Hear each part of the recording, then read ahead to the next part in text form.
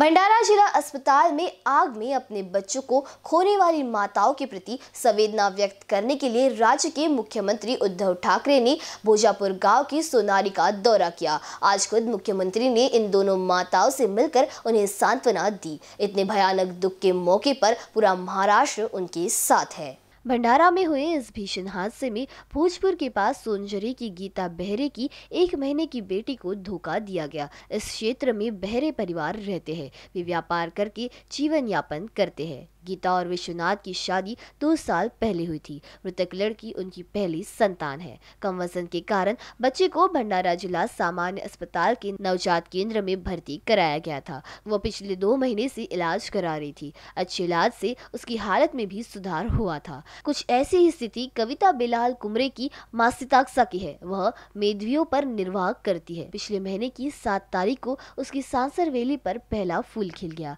हालाँकि वज़न कम होने के कारण लड़की को इलाज के लिए भंडारा अस्पताल में भर्ती कराया गया था।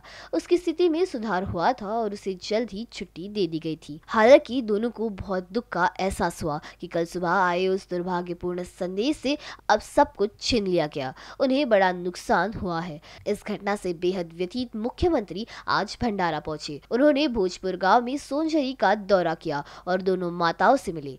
उनका दर्द सुनकर वह एक पल के लिए चुप हो गए। उन्होंने जिला कलेक्टर को इन परिवारों की पूरी देखभाल करने के निर्देश दिए। मुझे पता है कि इस दुर्घटना के कारण बच्चों के परिवारों को हुए नुकसान की भरपाई कभी नहीं होगी। अपने बच्चों का इस तरह से सहानुभूति प्रकट करना बहुत ही हृदय विदारक है। ऐसे शब्दों में सहानुभूति व्यक्त करना, जैसे की मुख्यमंत्री ने इन दोनों माताओं से वादा किया था, ऐसी घटना दोबारा नहीं होगी। मुख्यमंत्री द्वारा दिखाई गई विनम्र करुणा को देखकर दोनों के परिवारों को राहत मिली। विधानसभा अध्यक्ष नाना पटोले, जिला संरक्षक मंत्री डॉक्टर विश्वजीत कदम और परिवहन मंत्री अनिल परब इस दौरान उपस्थित थे। उसी हफ़्ते मुख्यमंत्री ने विदर्भ के साथ तीन बार बातचीत की, एक बार अप्रत्यक्ष और दो बार प्रत्यक्ष। इनमें से प्रत्येक यात्रा में मुख्यमंत्री ने विदर्भ के प्रति अपनी प्रतिबद्धता की फिर से पुष्टि की। परवागुसी खुर्द में कार्यक्रम के अवसर पर विदर्भ ने बर्ड वॉचिंग के समय निकाल कर पर्यावरण के प्रति मुख्यमंत्री की तरल संवेदनशीलता का एक अनूठा पहलू देखा।